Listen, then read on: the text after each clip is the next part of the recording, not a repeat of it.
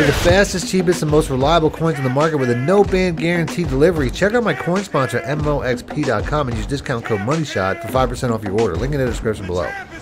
Welcome back, Money Teams. This is Man Money Shot, sniffing the man cheese as always. In today's video, I have the top nine teams to use in Madden 25 when the game's released, whether that's online head-to-head, playing a friend at home, or if you're playing in a CFM. These will be the nine best teams to start. Although I don't want this to come across as the nine best teams to use in CFM because I actually want to do a video about that, the best teams to build, stuff like that, which I typically like to do as well. So if you guys want to see me do more videos like this, as always, please make sure to be a subscriber, hit the like button, let me know in the comment section.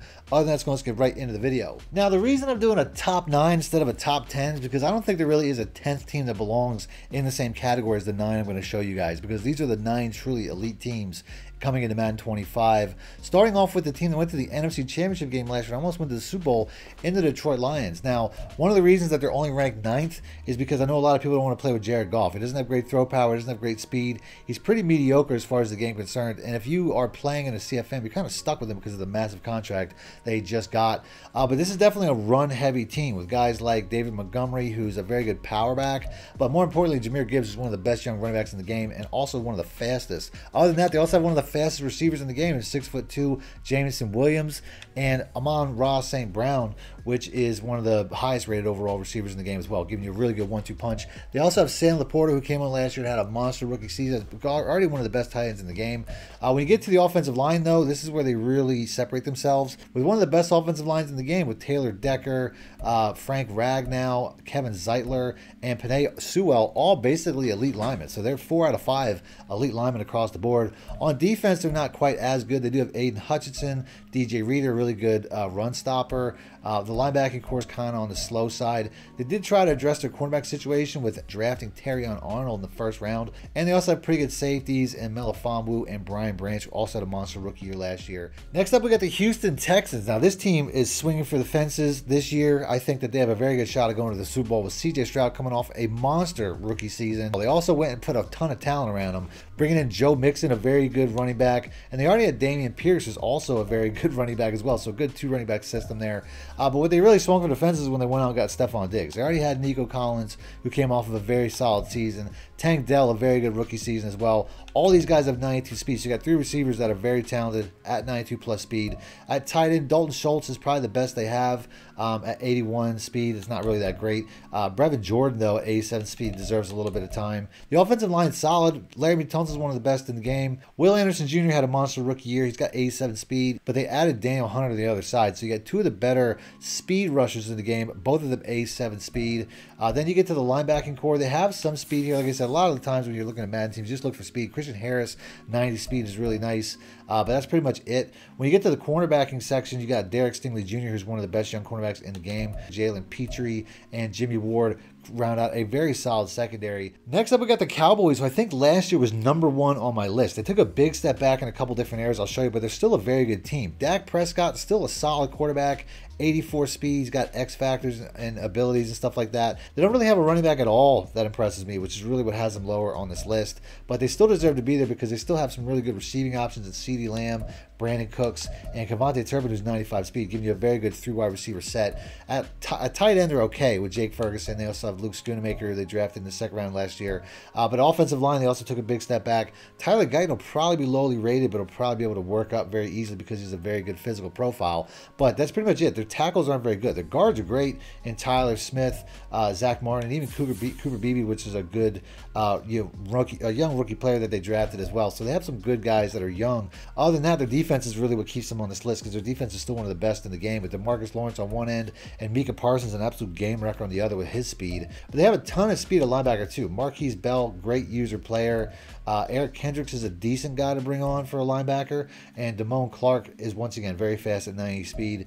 Uh, their cornerbacks are still really solid though, with Trevon Diggs coming back, 93 speed, and DaRon Bland. But Malik Hooker and Donovan Wilson fill out a really good secondary. And the reason on this list is because they're still one of the best and fastest defenses in the game. Next up, we got the New York Jets, who really didn't get much out of Aaron Rodgers last year before he got hurt, but you can still use him in the game. After that, they got a really good running back, one of the fastest running backs once again in Breece Hall. You get to the receiving core, and they already had Garrett Wilson, who was a really good receiver, number one, uh, but they added Mike Williams, a six foot four superstar caliber receiver, to give them a very good one two punch. Their offensive line got a lot better when they added Tyron Smith, who's still a very productive player at his age, 95 overall superstar uh, player on the offensive line, and they also have guys like Alijah Vera Tucker who they drafted in the first round a couple years ago, Morgan Moses. They traded for Haason Reddick to add a very good speed rusher off the edge uh, for you know the one side of the ball, and the other side, Jermaine Johnson's looking pretty good, and Quinnen Williams, one of the game-wrecking defensive tackles in the game. There's not a ton of guys that can wreck a game like him from the inside, but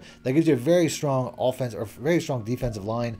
You get to the linebacking core; they have a little bit of speed with guys like Quincy Williams on the outside, and you know Zaire Barnes. You can use her uh, if you want to. So some good speed of linebacker, but their secondary is really where it's at. Sauce Gardner, absolute shutdown cornerback, six foot three, 92 speed, one of the best in the game, and then guys like DJ uh, Reed Jr. is also very good. Next up, we got the team that went to the Super Bowl for the NFC, the San Francisco 49ers. And once again, what holds them back is Brock Purdy's uh, throw power and his speed. Now, a lot of people want to use a guy like that who doesn't really have a ton of either, but he's still very accurate, which is going to be important, has superstar abilities. Uh, but if you want to run the ball, this is probably the best team to do it. Chris McCaffrey, they got really good receiving options as well, and Brandon Aiyuk and Deebo Samuel if you want to play, you know, small ball, you know, throw the ball within a 20 to 30 yard radius. You got great receivers to do that. You also have some really good young guys like Ricky Pearsall, who's six foot three, Danny Gray, who's a 95 speed, and Jacob Cowing, who they're suggesting could be a 95 speed guy here too. That's not the official rating, uh, but George Kittle also one of the best tight ends in the game. Can't beat that. Offensive line solid. Trent Williams is probably the uh, most important one. Is nobody else on the line is really rated that high. But on the defensive side, though, that's really what has them on this list. They don't have a ton of speed, but they still have a lot of really good players. And Nick Bosa, one of the best in the game. Javon Hargrave still really good. Although the defensive line took a little bit of a step back. They did bring a good linebacker, De'Vondre Campbell, to the unit. Fred Warner and Dre Greenlaw make one of the best linebacking trios in the game. Although once again, not very fast. That's one of their downsides. They have very good cornerbacks in uh, Charvarius Ward, who at some point should probably get a superstar and X Factor ability because he is that good. Decent safeties, obviously Hufanga is the best out of all of them. Another guy that probably should get some X Factor superstar abilities. Could get that before the game comes out. Next up, we have the Dolphins because speed is king in Madden. They took a little bit of a step back, and they also are held back a little bit by, once again, the throw power and lack of speed of Tua. They're really elite when it comes to running back and running back speed. Guys like De'Von Achane, who is the fastest running back in the game still, or at least should be. We won't know until the game comes out because there are some rookies. They even have a rookie by the name of Jaylen Wright, who this guy, whoever created this, is suggesting he might be 95 speed. So once again, speed, speed, speed all over the field. Raheem Mostert also 95 speed and superstar X Factor abilities after a monster year.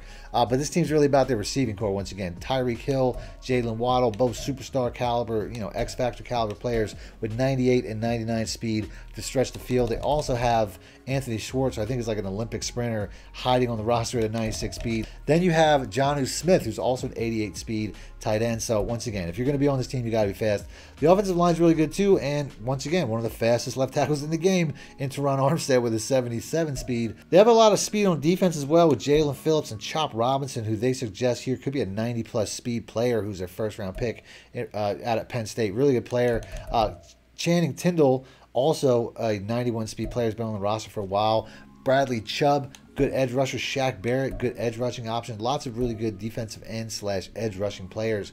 Their secondary is really where it's at, though, with Jalen uh, Ramsey, one of the best cornerbacks in the game. Kendall Fuller, obviously still a very good cornerback as well. And Jevon Holland and Jordan Poyer, who they've recently brought over from the Bills, make a very talented secondary. Probably one of the best in the game, especially when it comes to all the superstar and X Factor abilities that they could possibly have. Next up, we have the team that I think is the best in the NFC to use in the game, and that's my Philadelphia Eagles. I know I'm a little bit of a homer, but they're a very talented roster. Jalen Hurts, uh, biggest issue with him, once again, throw power is not great, but he is fast, so at least there's that. You can run around with him a lot. Uh, they brought in Saquon Barkley, who was one of the biggest free agent additions in the entire offseason, to add to an offense that already has A.J. Brown and DeVonta Smith. They did lose uh, their fastest receiver in Quez Watkins, but they might have John Ross on the roster. I don't know if he'll be on the roster once the game comes out, but if he is, a 99 speed player.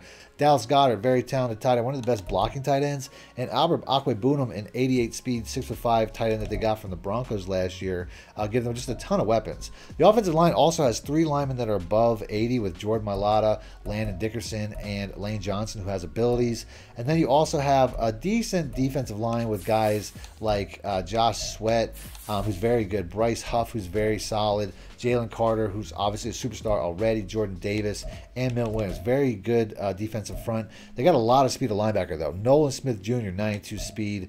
Uh, they also drafted Jalyx Hunt. They, they signed Devin White, 91 speed, especially at cornerback with Darius Slay, who's a superstar X Factor, Isaiah Rodgers, who's a 94 speed, uh, Quinyon Mitchell, their first round pick, who's projected, he ran a 4 3, so he's projected to be very fast. Cooper DeJean could have been a first round pick. His coverage ability be really high. And even Kelee Ringo, who they got in the fourth round last year, six foot two, 94 speed, great physical profile. Ch- Chauncey Gardner Johnson also is a, uh, you know, he's a really highly rated player. And now we're up to our top two teams. Next up with Lamar Jackson's Ravens. Obviously, one of the best quarterbacks in the game with that 96 speed. That's absolutely crazy. And then they went ahead and added the best pounding running back in the game in Derrick Henry with angry runs. I mean, this is absolutely ridiculous. Uh, not to mention, they have Keaton Mitchell, who's a 94 speed, one of the fastest running backs in the game. So, uh, really solid receiving core, too. Zay Flowers had a great rookie year. Rashod Bateman, a good young player. Uh, Mark Andrews, is one of the best tight ends in the game. Their offensive line with Ronnie Stanley, um, Tyler Linderbaum. The defensive line is very good with Justin Madubuike. I really don't know how to say his name too great, but I think he went to the Pro Bowl last year. Very good player. Uh, Michael Pierce has been there a long time. Another guy who's just really good at holding the point of attack. Two very good defensive tackle caliber players. And then they also have some really good uh, linebackers when it comes to guys like Roquan Smith, Trenton Simpson, who's a 91 speed, uh, Defi Owa, who's an 89 speed, uh, David Ojabo, I think is a former first round pick, um, also a very fast linebacker. Their secondary is really solid with Marlon Humphrey, who's got X Factor superstar abilities. They drafted Nate Wiggins in either the first or second round, I'm not really sure, but he's a very good physical profile once again, too, with 6'2, 97 speed. Their safeties are loaded with Marcus Williams and Kyle Hamilton, who's six foot four. And last but not least, you knew it was coming. The Kansas City Chiefs, the world champions, best quarterback in the game. Uh, this guy here is one of the strongest arms. He's very mobile as well. I didn't even know they signed Carson Wentz. That's crazy. Uh, they also got one of the better running backs in the game that people don't really realize, and Isaiah Pacheco, who's once again 93 speed, got superstar X Factor abilities, a very powerful runner. Uh, they got really good receivers as well with Rashee Rice coming off of a good rookie season. They signed or traded for Marquise Hollywood Brown, who's a 97 speed receiver. He's only five foot nine, but he definitely stretches the field. They drafted Xavier Worthy, 98, 99 speed, one of those two. We're not really sure, but uh, but their three wide receiver set is just insane. Travis Kelce is a 99 overall player. He's really hard to cover. Their offensive line is really solid, especially on the interior, as three of their offensive linemen on the inside are all close to 90. Uh, on the defensive side, though, they lost a little bit. George Karlaftis has developed into a very good player uh, as a speed, as a power rusher. Chris Jones, still one of the best defensive players in the entire game uh, with X Factor abilities. He's got to be double teamed on just about every single play. Leo Chenal gives him speed at linebacker. Nick Bolton's one of the best young linebackers in the game. And Drue Tranquill makes a really good uh, three linebacker set if you like to run linebackers. Their secondary lost a little bit, though, when they lost to Jarius Sneed. Um, although Trent McDuffie is still one of the better young cornerbacks in the game. Uh, the safeties are a little bit weaker, too, but with Justin Reid, they have at least one of those set. So I'm going to end the video there. If you guys want to see more videos like this, I can do best teams to build in uh, online CFM. I can do best teams, uh, you know, best offenses, best defenses. Let me know in the comment section. Other than that, thanks for watching, man. We shout out. Need more help or just want to show your support? Then head over to my Patreon and join my team, where you can get exclusive content like ebooks and bonus plays, as well as early access to my vids and more. Link in the description below.